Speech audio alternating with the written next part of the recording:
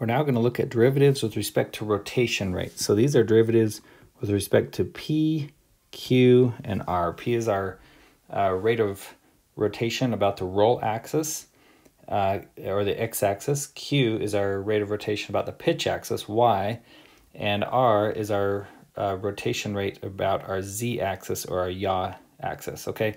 So we're going to look at roll in the most detail here, and then uh, you can, the very similar physics happen for uh, pitch and yaw, which we'll, uh, we'll, which we'll discuss briefly. But So what I have here is a picture of an aircraft in this equilibrium flight condition. So um, at equilibrium, we've got, uh, we're traveling in this direction, V infinity, uh, or V naught, I guess is what we're calling our equilibrium flight condition. And, um, and we've chosen the x-axis to be aligned with that flight condition, okay? And that simplifies this analysis. So we're looking at the dynamics of this aircraft uh, with small deviations to this nominal flight condition. And uh, so that's why we've chosen x to align with uh, v infinity or v naught uh, for this flight condition. Okay, so now we want to look at how do the forces and moments, um, how do those change if I have a change in roll rate? Okay, so that's p. These are uh, the derivatives here. Now we can go to our force and moment equations here like we did before. So these are body fixed forces and moments.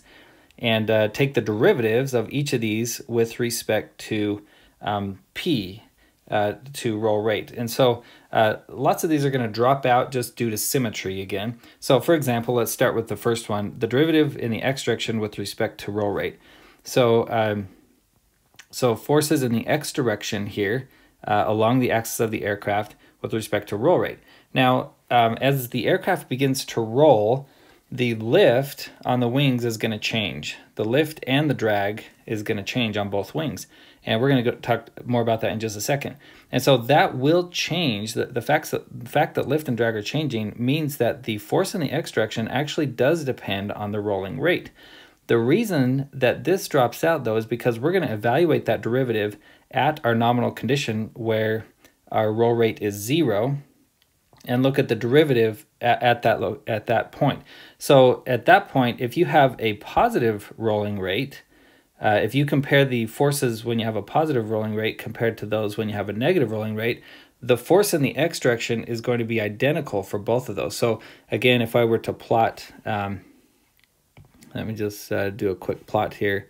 Uh, force in the x direction with respect to uh, with respect to rolling rate p, um, we'd get something that is not independent of p. It depends on it, but they but if we have a positive roll rate, we would expect the same force as if we had a negative roll rate. And so when we evaluate that derivative at our nominal flight condition where p equals zero, the derivative there is equal to zero. So that's why uh, that's why that's zero. Uh, force in the y direction from symmetry, we're going to say that's zero. Uh, and and this force in the z direction, same reason that x the, the force in the x direction, the derivative with respect to p is zero. Um, the same reason that that derivative was zero, that's why the force in the z direction with respect to p will be zero, okay? So let's now look at this, this next guy, uh, the moment about the x-axis with respect to p, okay? How does the moment change? And uh, to understand that, we need to understand what's happening on this aircraft as it rolls.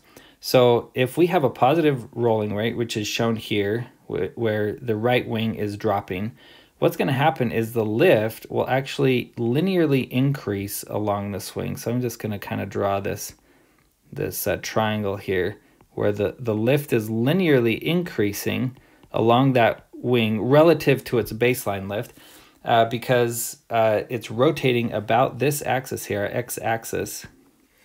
And, uh, and so that will create this linear change in angle of attack as you move out, okay?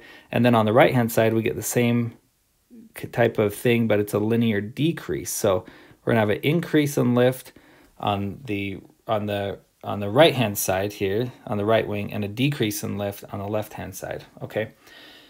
Um, so not only do we have a change in lift, but we also have a change in the direction of that lift because the angle of attack is changing slightly as we go out. So as we as the as the uh, wing rotates down, uh, the angle of attack will will change. And uh, actually, on the uh, on the right wing over here, that lift will be uh, pointed towards the front of the aircraft just a little bit because of the increase in angle of attack. And because of the decrease in angle of attack over here, our lift vector will decrease, but but also get pointed back just a little bit. So so this lift vector will be pointed aft just a little. These lift vectors will be forward from where they were at zero rolling rate. And so we actually have a change in rolling moment and in yawing moment, okay? So the change in rolling moment is dominated by this change in lift, the fact we have this linear change in lift along uh, both sides of the aircraft or, or these wings. And, uh, and that change in lift actually is going to oppose the direction of, or the rotation rate. So we're trying to rotate to the right. And as we roll to the right, the lift increases on the right wing, decreases on the left wing. And so that actually creates a rolling moment in the opposite direction of the rolling rate. And so that is what we call a roll damping derivative. Okay, this, this guy right here is our roll damping derivative. So that just means that when we roll the aircraft, we're going to get a rolling moment, an aerodynamic moment on this aircraft that is opposing the direction of that roll. And that's due to this change in lift on either side. Um, and so that's something that we can evaluate from CFD or experimental data or from uh, numerical methods, panel codes, things like that. We can actually also estimate that from lifting line theory, um, which we won't go into here, but there's a way to estimate what that would be.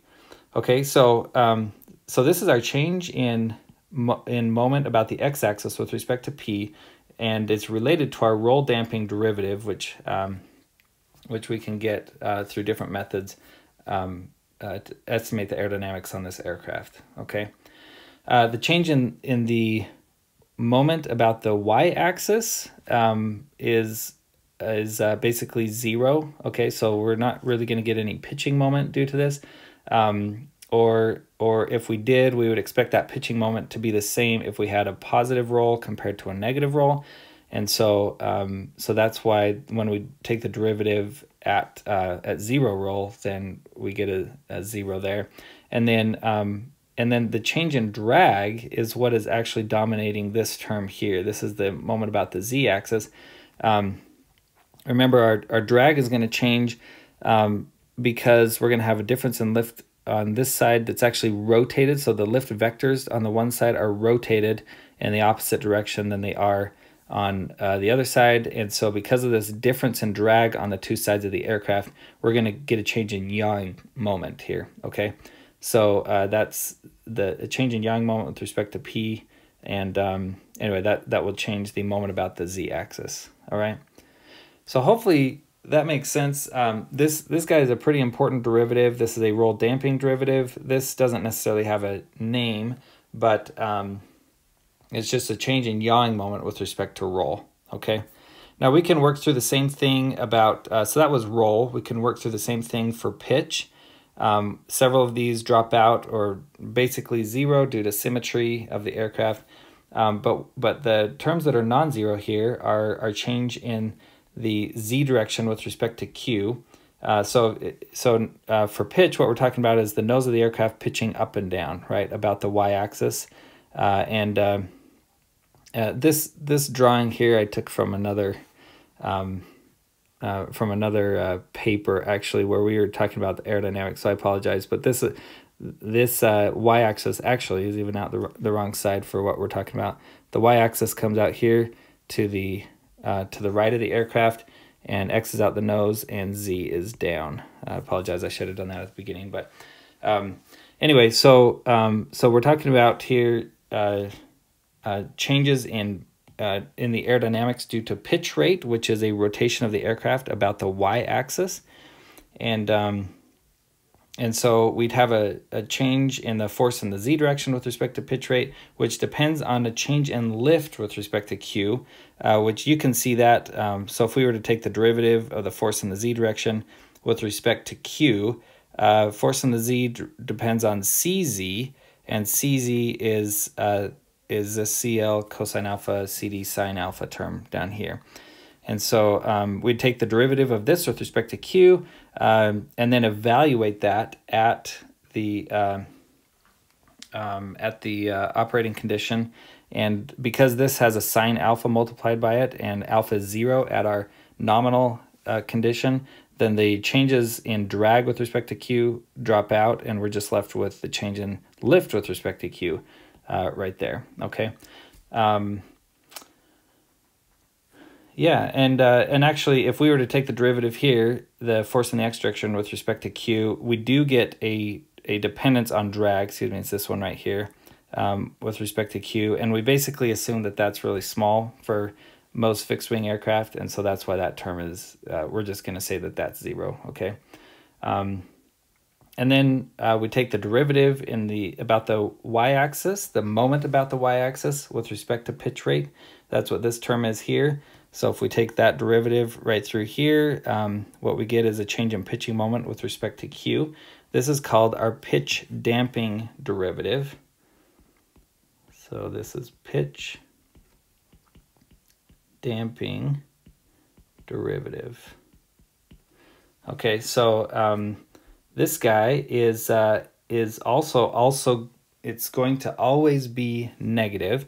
Um, and the way um, we can understand that is uh, if we come back up here to our drawing. So we're going to be pitching this aircraft about the y-axis.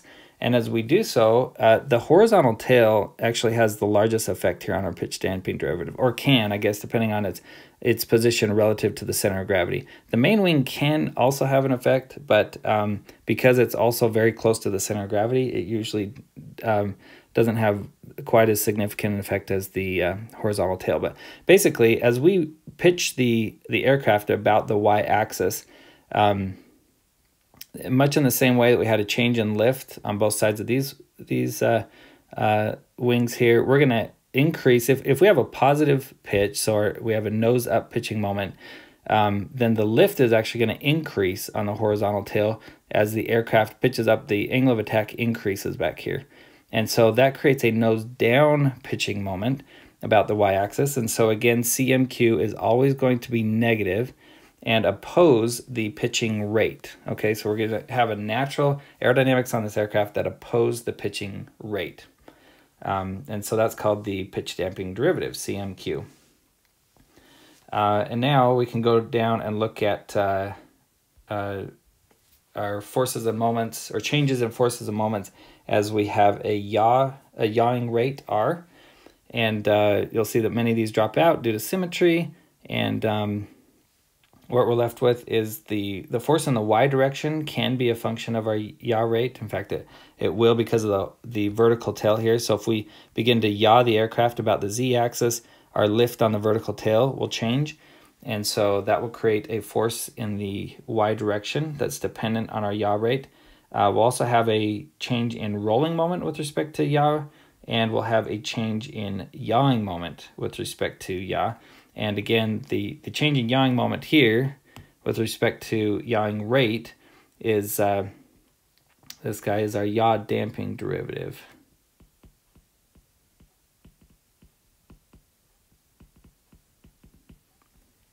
Okay, and it comes about the same way that we have a pitch damping derivative that's opposing our pitch and roll damping derivative that's opposing our roll. So if you can imagine uh, this aircraft is um, is yawing about the z-axis, what happens is uh, if it's if we've got a positive yawing rate, let me just draw that on here. So positive yawing rate would be in that direction if you put your thumb in the direction of z and then curl your fingers around. Uh, that's the positive yawing rate. And what's going to happen is that will change the lift on the vertical tail. So we'll actually get um, some some lift on this side of the tail here that creates a, a yawing moment in the opposite direction of the yawing rate, okay? And so um, so the change in yawing moment with respect to yawing rate will be negative. And uh, so let's just come down here and uh, and and point that out here. So the the yaw damping derivative will always be negative, just like the pitch damping derivative is always negative and the yaw damping derivative is always negative, okay? Now these other terms here, CNP, uh, CLQ, uh, CYR, CLR. These are other derivatives that we get with respect to our roll, yaw, and pitch rates. Um, but these three in particular have special names, and that's because they are the um, they're the moments that are opposing the rotation rate about each of those axes. So this is the yawing moment, um, the, the, the change in yawing moment with respect to yawing rate.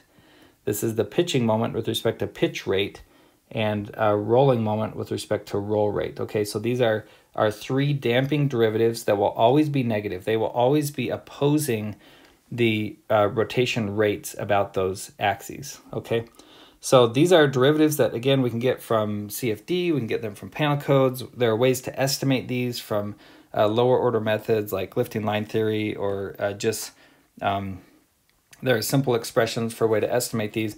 But in, in essence, what we would need is these aerodynamic derivatives that then we will plug directly back into our uh, equations of motion um, in order to estimate the dynamics of this aircraft about this nominal uh, trajectory or nominal uh, flight condition.